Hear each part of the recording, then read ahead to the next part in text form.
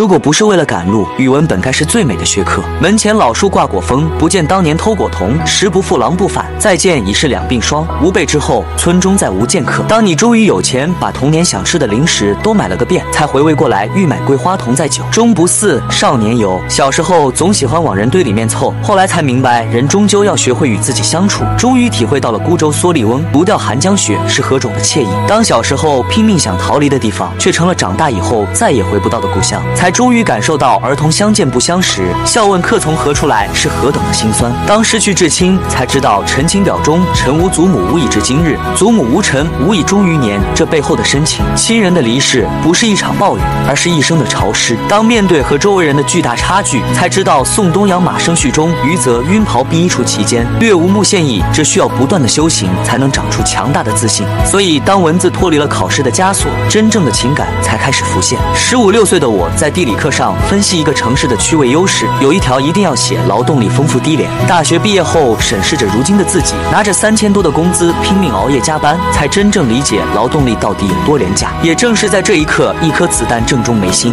那一天，千军万马过独木桥，头悬梁锥刺股，奋尽全力。那一夜，一个自认才华横溢、不甘平庸的少年，既受不了前人的唠叨，又看不清未来的方向，只是心中碎碎念着自由，畅想着诗和远方，背起行囊离开家乡。那一年的少年江湖梦，励志三千里，谁不曾年少轻狂，血气方刚？谁不曾克己复发，胸怀激荡？谁不曾鲜衣怒马，气宇轩昂？要千帆过尽，方知柴米油盐非易事；青丝渐白，才懂匆匆岁月不饶人。饱尝世事冷暖，才明白江湖问路不问心。经历人情世故终恍然，木剑劈不开荆棘，而是尽觉心可摘。抬头不见少年郎，须知少时凌云志，曾许人间第一流。最后愿大家历尽千帆，归来仍是少年尝遍人间困苦，依然热爱生活。